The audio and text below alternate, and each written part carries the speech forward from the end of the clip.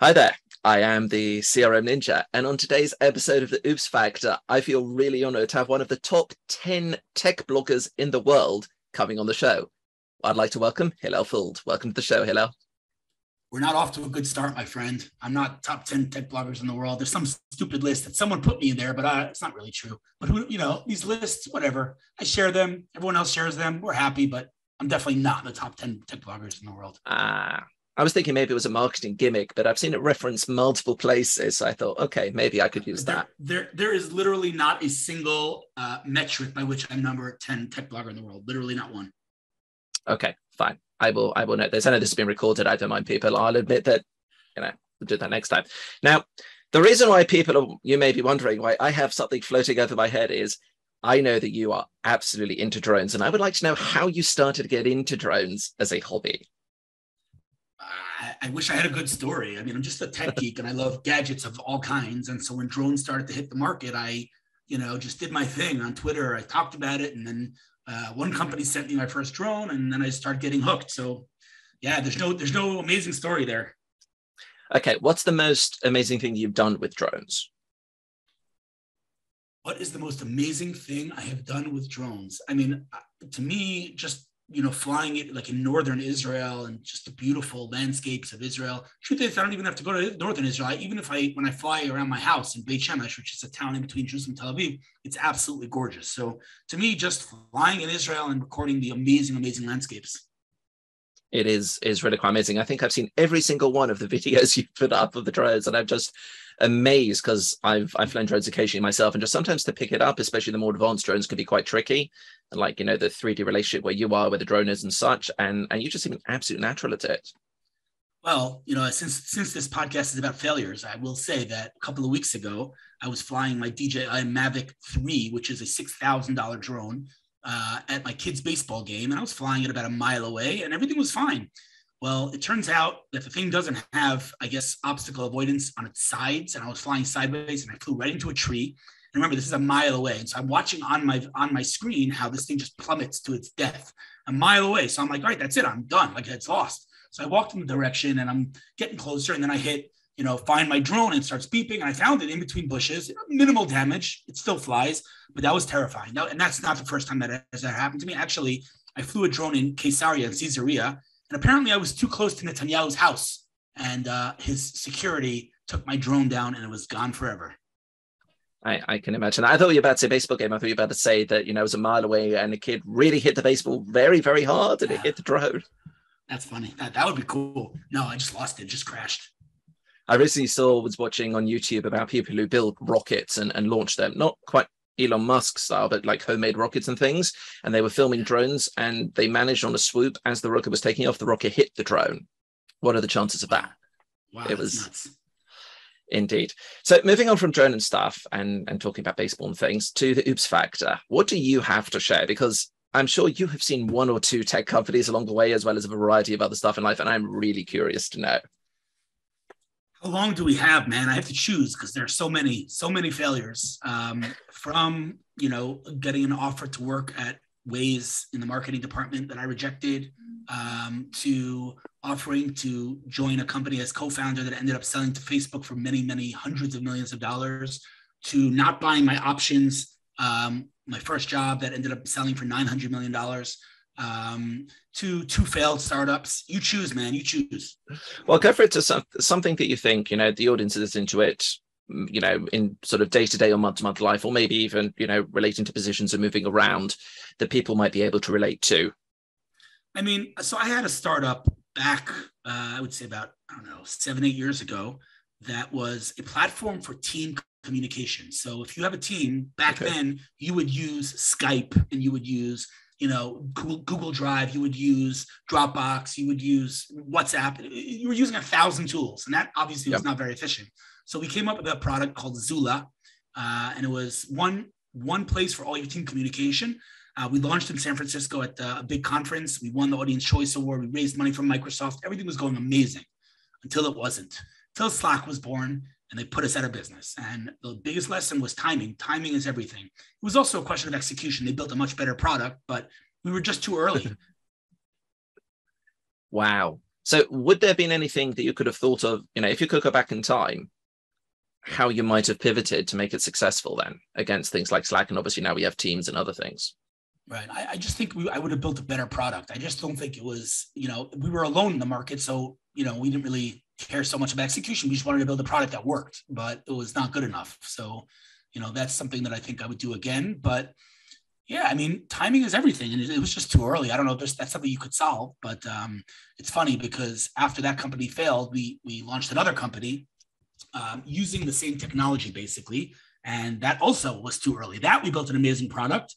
Uh, it was basically Clubhouse for for you know pre Clubhouse. Ah. It was like you know a, a podcasting platform from your phone, uh, and it was a really good product. And we did a really good job, but it was too early. No one wanted a podcast from, from their phone, so yeah, just didn't succeed.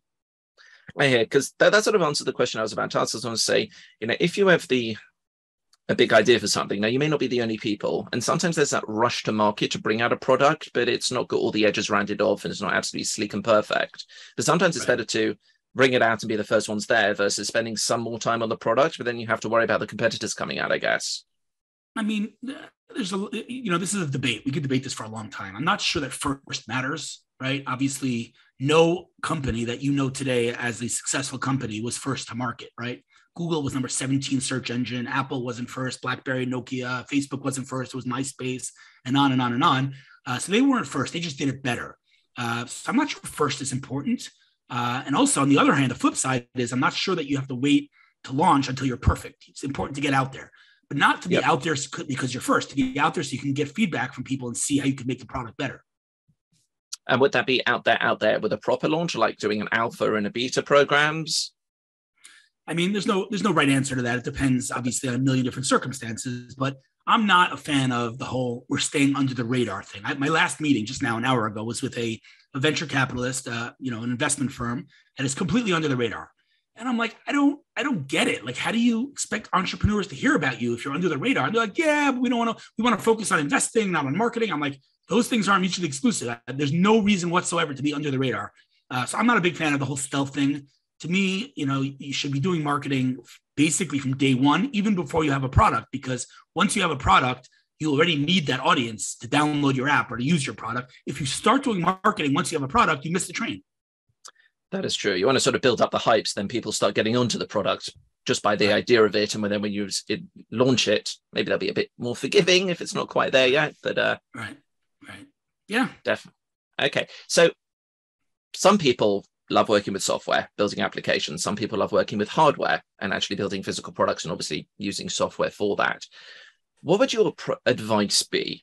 And I know that you are an advisor to many different companies, you know, for social media and other stuff and engagement. But if somebody had an idea for something, building a better mousetrap or something, and I know that this would depend on what the product is in the market for, but in general, how would you suggest what could look like a successful path to get them started? Because some people are really worried that they'll just never actually start it because they're so afraid of failing and that.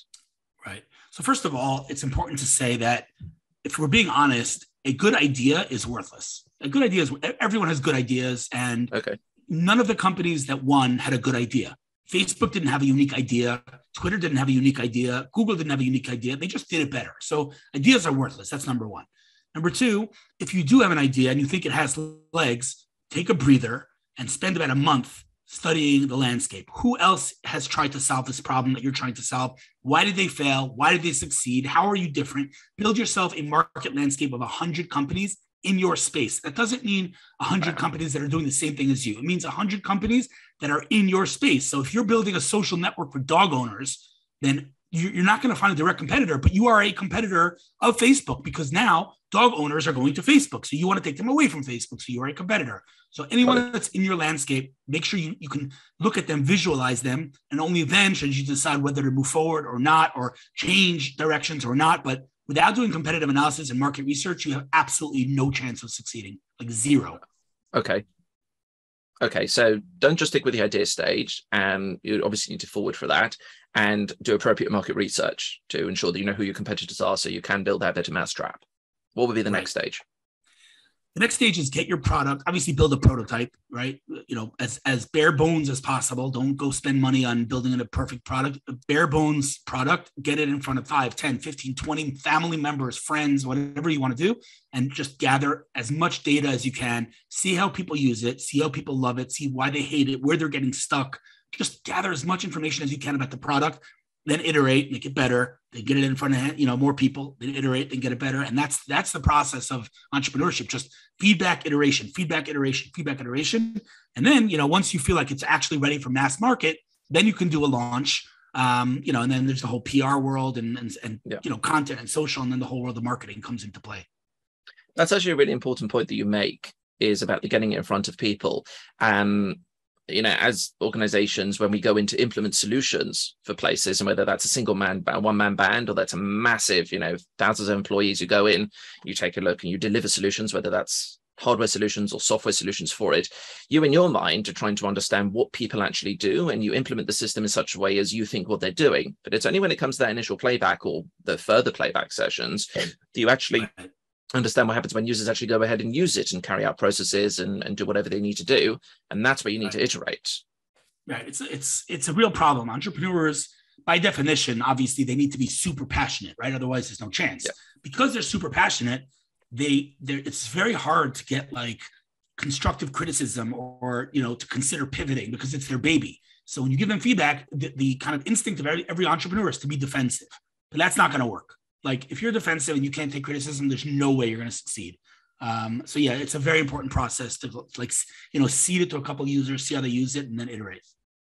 I guess there are possibly quite a few people out there who've just become so emotionally invested in their baby that they just can't bear to hear criticism, and therefore their exactly. products aren't succeeding because of that. Right, hundred percent.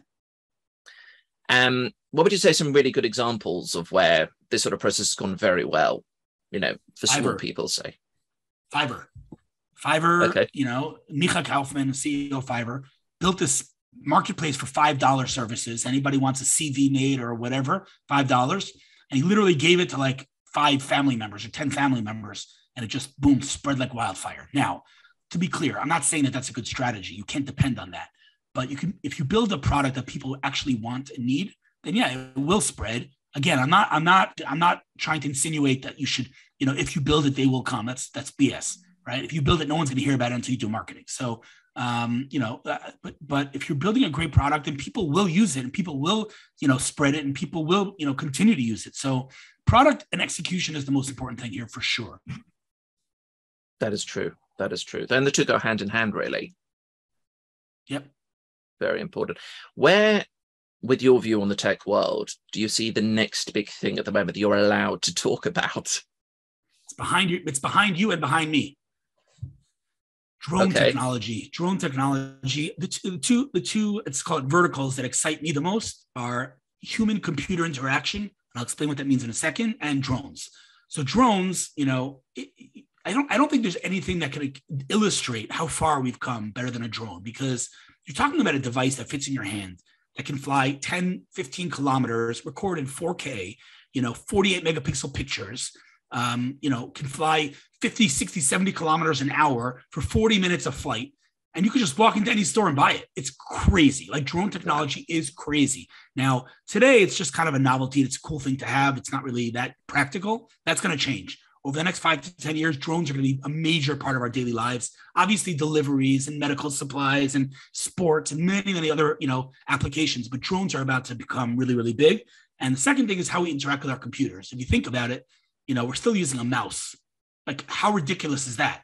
You know, but we but we think like our phones, our smartphones, we think they're so sophisticated. And our kids are going to laugh at us that we walked around with big slabs of glass in our face, right? So yep. the way we're going to interact with our computers is going to fundamentally change. You know, that's why every single one of the companies is building glasses right now. Every single one, Apple, Google, Facebook, Microsoft, they're all building AR glasses. Now, I don't know you know how we're going to interact with our computers whether it's through hand motions in the air or whatever it may be but you can be sure that in the next five to ten years we will not be using a mouse or a smartphone. Yeah. I mean i was part i remember when google glass released its first product i rushed to get a copy of it. It was really cool. There were some problems with it but it was cool. But i'm also reminded if you think of you know the apollo missions and the space missions the amount of computing power that they had to send man to the moon is less than a modern smartwatch much less than a modern smartwatch. And you think that was, you know, what is it, 40, 50 years ago or so? Now think of the amount of time and how quickly technology has advanced since then. What is life going to be like in even 20 or 30 years? 100%. There's no question things are going to change very fast. Obviously, autonomous driving, like we're not going to have steering wheels in our cars for very much longer. Everything's going to change. We're, it's going to be a new world very soon. I'm going to miss that. I do like actually manually driving. I've always liked a manual car with a gear stick in order to do that. So I think I'm going to miss that where that goes. Well, it's not going to be, you're not going to be able to buy one because you can't have half the roads autonomous and half yep. the roads not autonomous. Everyone's going to go autonomous. You're not going to be able to buy a regular car with a steering wheel. Yeah, that is that is true. And So it's going to be a sad thing for it. So I know that you love tech and that you love gadgets. What piece of tech or gadget do you have your eye on to get next? I've wanted an iMac computer since I can remember. I have absolutely no use case for it. I don't even use it. I barely use my laptop, forget a desktop. I have zero use case for it. I don't know why I want it. Well, I do know why I want it because it's sexy, but I don't uh, I don't have any use case for it. But I, I, I very much want to buy myself an iMac. Are we talking about like one of the retro ones with the different colors on the back? No, no, no. An iMac, a modern iMac, you know, the screen oh, that has the whole computer okay. built in. Ah, okay. The modern all in one Apple solution. Got it. Yeah, love it. Love it. Right. Well, I look forward to hopefully seeing you posting up about it at some point and figuring out a use for it. I can't justify that that that expensive of a purchase without any specific application. I will literally never use it, like literally. So I don't, I don't think I'm going to buy it, but you ask what I want, that's what I want. Got it. Wonderful. Well, Hillel, so much. Thank you so much for your time in coming on the show. It's been really appreciated. Absolutely. Thanks for having me. No problem. Viewers, we hope that you've enjoyed listening to our talk about technology. Feel free to check out the rest of the Oops Factor playlist, subscribe to the channel, take a look at the blog. Also, feel free to take a look at Hillel across, I think, every single social media channel that's out there, and I will include that in the description. And if you would like to come on the show, hit the link somewhere in the description below, put in your details, and I'd love to have you on. But above all, have an amazing day.